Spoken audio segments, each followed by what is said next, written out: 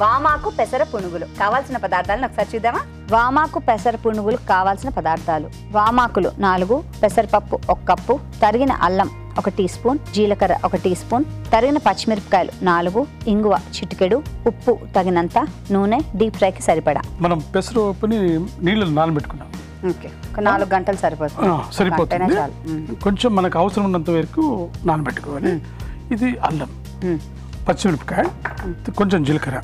మనం ఇవన్నీ రెడీ పెట్టుకున్నాం కదా దీన్ని ముందు ఏం చేస్తాం మనం నానబెట్టిన ఈ పెసరపప్పుని మనం దీంట్లో గ్రైండర్ చేసుకోవాల్సిన ముందు మనం జాగ్రత్తగా దీంట్లో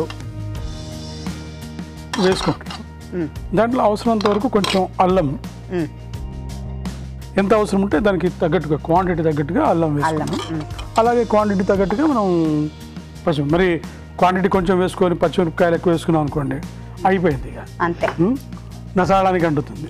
అలాగే కాస్త జీలకర్ర వేసుకున్నాం మ్మ్.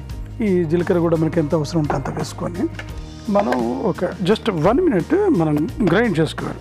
ఓకే. జాగ్రత్తగా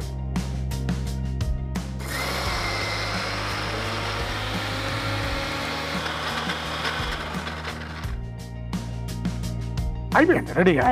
పర్ఫెక్ట్గా ఉంది.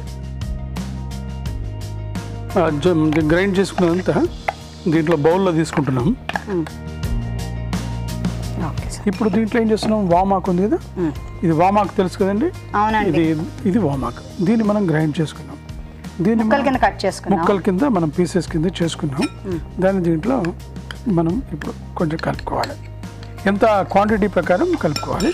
అలాగే ఇది కొంచెం ఇంగువ కొంచెం ఎక్కువ వేసుకోవద్దు. తర్వాత తగినంతగా మనం సాల్ట్ వేసుకోవాలి. ఉప్పు. ఉప్పు. సాల్ట్ వేసుకోవాలి. సాల్ట్ వేసుకొని మెత్తగా కలుపుకున్నాం అనుకోండి. దీన్ని బాగా మెత్తగా మనం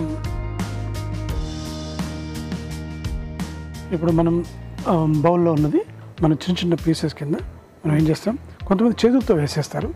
మనం ఇట్లా వేసేసుకోవాలి. ఒక్కొక్క స్పూన్తో ఒక్కొక్కటి వేసుకోవాలి.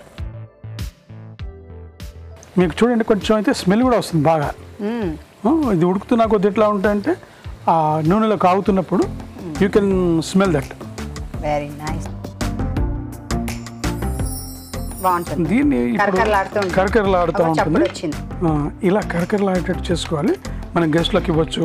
మనం స్నాక్స్ లాగా time pass tea time tea time best best snack snack బాగుందండి.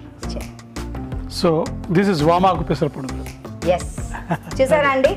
మాటల్లో ఇట్టే అయిపోయింది. మనము ట్రై చేద్దాం. వామాకు పెసర పునుగులు తయారీ విధానాన్ని మరోసారి చూద్దాం. వామాకు పెసర పునుగులు తయారీ విధానం. ముందుగా పెసరపప్పు నానబెట్టుకుని ఉంచుకోవాలి. మిక్సీ జార్లో నానబెట్టుకున్న పెసరపప్పు తరిగిన అల్లం తరిగిన పచ్చిమిరపకాయలు జీలకర్ర వేసి మిక్సీ పట్టి ఒక బౌల్లోకి తీసుకోవాలి. దీనిలో తరిగిన వామాకు ఇంగువ ఉప్పు వేసి బాగా కలుపుకోవాలి. ఈ మిశ్రమాన్ని కొంచెం కొంచెంగా తీసుకుని కాగే నూనెలో పునుగుల్లాగా వేసుకోవాలి. అంతే వామాకు పెసర పునుగులు రెడీ.